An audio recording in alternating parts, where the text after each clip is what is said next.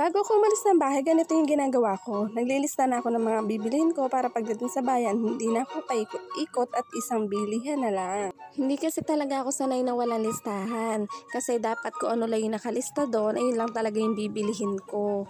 Dinidisiplina ko nga kasi yung sarili ko sa pagbili ng want at saka ng needs. Naka-budget lang kasi talaga yung pamimilihin ko at dito nga ako unang dumediretso pag nagpunta ako sa bayan. Nagpapasalamat ako sa lahat ng blessings na binibigay niya sa atin. Siyempre humihingi na din ako ng guidance para sa asawa ko na sa malayo.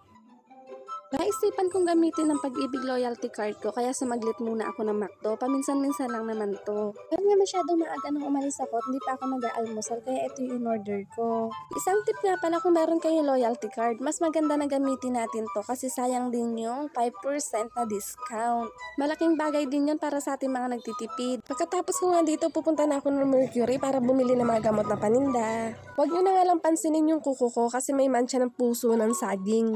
Ganyan lang talaga yung kuko na masisipag, kunwari. Lahat nga ng mga gamot na paninda ko, dito ko talaga sa Mercury binibili. Kasi naman ang mga gamot dito, kalidad na siguradong mga bago pa. Tapos chinecheck ko na nga dyan sa listahan ko kung ano ba yung mga wala pa. At syempre, malaking bagay kung gagamit tayo ng suki card ni Mercury. ATM payment nga sana gagamitin ko, buti na lang pag-check ko na wallet ko may cash. Nagulat ako dun ha.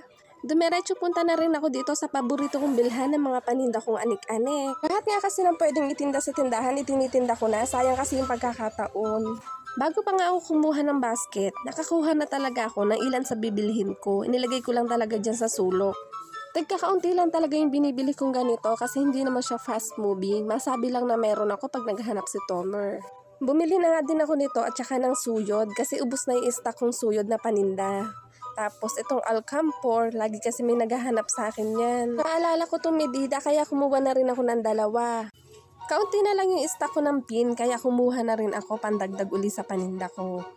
At napadaan na nga din ako dito sa Blade kaya kumuha na din ako ng isa. Lagi kasi may nagtatanong sa akin yan kaya lang hindi ko talaga alam kung ano yon. Kumuha na nga din ako nito at bago ako umalis, i-check ko mabuti yung resibo kasi baka mamaya may hindi napasama. Eto, sumakay na ako ng tricycle pa uwi. Hindi na din ako markila kasi kaunti naman yung pinamili ko, sayang din yung pamasahe. Uso din naman magtipid pag may time. Pagdating ko nga, eto na yung una kong gagawin. I-check ko na yung mga resibo tapos i-encode ko na para ma-update ko yung presyo. Kasi pag nalipasan ko yan, makakalimutan ko na talaga. Ang mga presyo nga ng paninda ko, ini-encode ko talaga ng manual kasi magkaiba yung presyo ng wholesale ko at saka ng retail.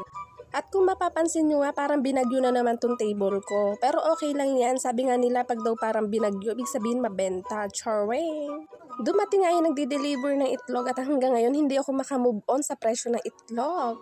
Sa sobrang taas ka ng itlog, mapapa oh my egg ka na lang talaga.